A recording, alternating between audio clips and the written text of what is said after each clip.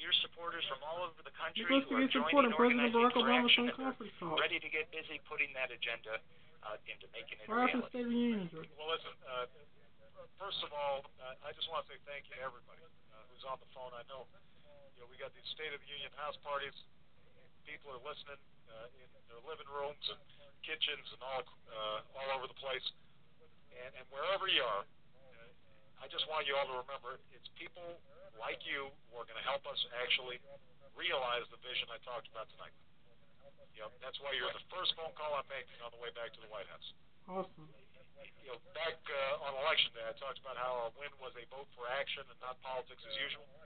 And, and, and you know me well enough to know uh, what that means for you and that what that means for me. It means that we got to get organized, and that's what organizing for action's about.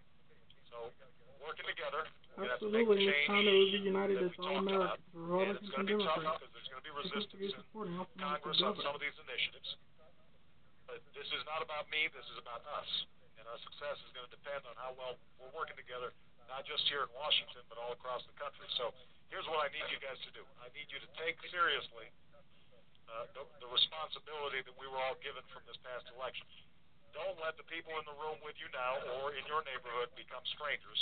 You got to work with them over the next few months. Build strong chapters in your community. Uh, don't let the conversations you had tonight become empty words. You know, figure out how you guys are going to stay organized. Uh, and in fact, there's something you can do right now.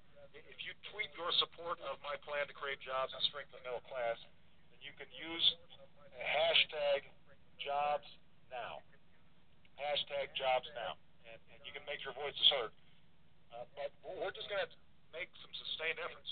Uh, and in some cases, trying to move Congress is going to require you guys to get activated. In some cases, uh, you know, it, it may just be a matter of working neighbor to neighbor uh, to, to communicate uh, things that we're doing.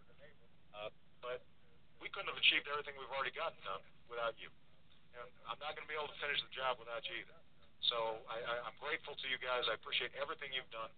Uh, Thank you, Mr. hope, President. Uh, From the great what I state said of tonight Tennessee, resonated with Nicholas you. City, also known But, as the governor. but remember that The me Nicholas saying it doesn't United States mean Congress anything. 2012. to get it passed, to get it signed, to get it implemented, to get it done. Member of the Shelby County That's Republican going to Party. require a big push from you guys.